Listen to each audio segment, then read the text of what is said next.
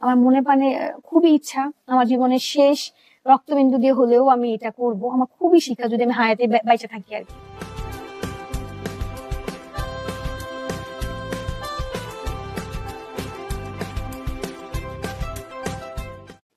প্রিয় দর্শক, আসসালামু আলাইকুম।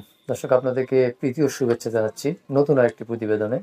দর্শক, অনেকেই আমাকে রিকোয়েস্ট করে থাকেন যে আমরা তো সবসময় ইতির সাকসেস ইতির গরু লালন পালন নিয়ে বিভিন্ন কথা বলে থাকি। আসলে ইতির জীবনের কাহিনী বা ইতির ভবিষ্যৎ পরিকল্পনা বা ইতির সন্তান একমাত্র সন্তান ইয়ামনি। আসলে তাকে নিয়ে কি স্বপ্ন ইতির আমরা একটু জানি চলুন। আপু আসসালামু আলাইকুম। ওয়ালাইকুম আসসালাম। ভালো আছেন তো? আচ্ছা।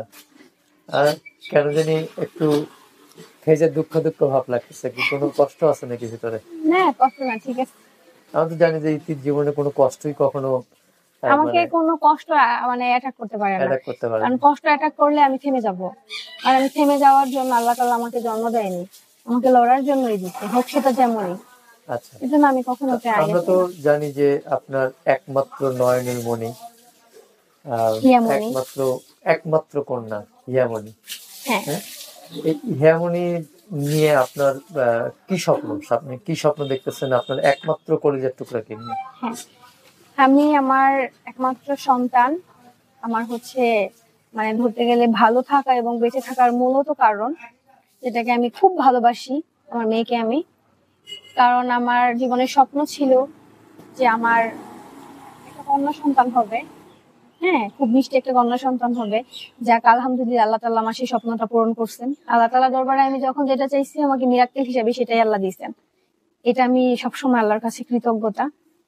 তো আমার সেই সোনামণিটাকে নিয়ে আমার চিন্তা ভাবনা যে ওকে আমি আপনার ডক্টর বানাবো।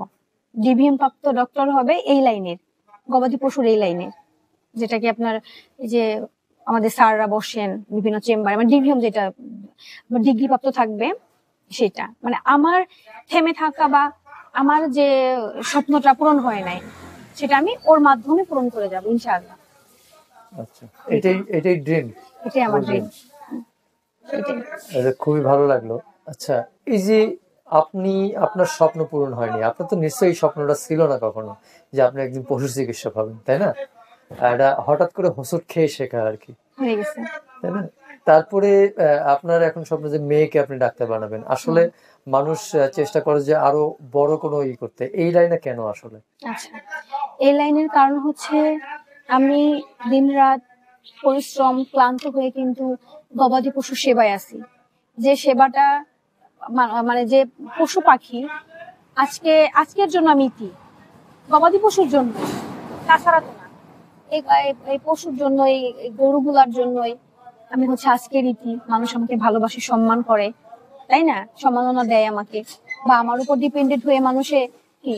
অনেক অনেক ভরসা পায়। এখানে ভরসার বর্তমান, এটা আমি গর্ববোধ করে বলতে পারি, এটা না। মানে ভরসার জায়গা ইতিহাপু। লাস্ট ভরসার জায়গা হিসেবে ইতিহাপুকে মানুষ বেছে নিচ্ছে বর্তমানে। কারণ আমি বাস্তবতা সবার সাথে শেয়ার করি। চাই আমি কোনো রংচং না, শুধু বাস্তবতা। তো সেইখান থেকে আমার মনে করেন যে আমার একটা স্বপ্ন যে আমি গবাদি পশু চিকিৎসা করি, আমি এই লাইনে আসি, মানুষ আমাকে ভালোবাসে, আমার উপর ডিপেন্ডেন্ট হয়। তো এক সময় এইটাকে ধরে আমার মেয়ে থাকবে। আমি এক সময় হয়তো বা হায়াত মতের কথা বলা যায় না, বয়স হয়ে যাবে বা অন্যই। কিন্তু প্র্যাকটিক্যাল যে থিওরি গুলা আমার মেয়েকে আমি সব সময় দিয়ে যাব। বাস্তবতা শিখাবো। বাস্তবতা কি জিনিস? নিজের জীবনের বাস্তবতাও, এই লাইনের বাস্তবতাও। আমি সবকে শিখিয়ে যাব। তারপরে হচ্ছে ও এই লাইনে মানুষের সেবায় থাকবে। মানুষ ভরসার জায়গা হিসেবে বেছে নিবে, একজন ডাক্তার হিসেবে। তাই না? ডাক্তার হিসেবে বেছে নিবে। তারপরে হচ্ছে বিভিন্ন খামারে যাবে। ও বুঝাবে যে মেয়েরা চাইলে কি না পারে। আমার মাও একদিন ছিল, ও যেন গর্ববোধ করে বলতে পারে, আমার মাও একদিন ছিল, আমার মাও এগুলা করছে। মানে এই যে আমার যে একটা নাম, আমার যে একটা ইতি এটা আমার মেয়ের ধারাই আবার থাকবে। এটা আমার মেয়ে কি? সেই নামটাকে কি? জীবিত রাখবে। আমি এক সময় থাকব না। হয়তো বা আপনারা থাকবেন বা আপনাদের বাচ্চা কাচ্চারা হয়তো সেই অবধি পৌঁছাবে পৌঁছাবে, আস্তে আস্তে সবই পৌঁছাবে। কিন্তু এক সময় আমি থাকব না, আমার মেয়েরা থাকবে, আপনাদের ছেলে মেয়েরা থাকবে। তাই না? তো সেখান থেকে কি আমার নামটাকে লালন করে আসবে সব সময় সব সময় যে, উমুক মানে ইতি, ইতির মেয়ে এটা করে। এক সময় তো সেই মেয়েটাও ছিল এরকম। এর মাও ছিল এরকম। এর মাও এই লাইনে পশু চিকিৎসা করছে, এই লাইনে এই এইগুলা করছে, বড় বড় গরু বানাইছে। গরুর এই খাত থেকে যে আমার যে একটা নামের যে একটা ইটা, সেটা আমার মেয়েই ধরে রাখবে। এই সম্মানটা আমি চাই আরও ভালোভাবে এনে দিবে। যেমন আজকে আমি আমার মা বাবাকে সম্মান দিচ্ছি। আমার দ্বারা সম্মান পাচ্ছে। আল্লাহ তাল্লাহ তৌফিক দিচ্ছেন সেটা করার জন্য। একসময় আমার মেয়ের জন্য এটা আনবে। আর সবচেয়ে বেশি যেটা বুঝাবে, যেটাও তুলে ধরবে, যে নারী হিসেবে চাইলে সবই সম্ভব। নারীরা কেন পুরুষের মতো পারে না?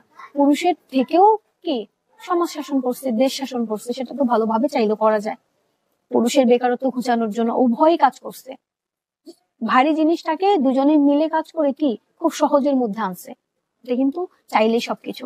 তখন এই হিয়ামুনিকে দিয়ে আবার পরের যে, বাস্তব বাস্তবতারগুলো যে নারী সংগ্রামী থাকবে, তারা শিখবে। আজকে আমাকে দেখে আপনারা শিখবেন।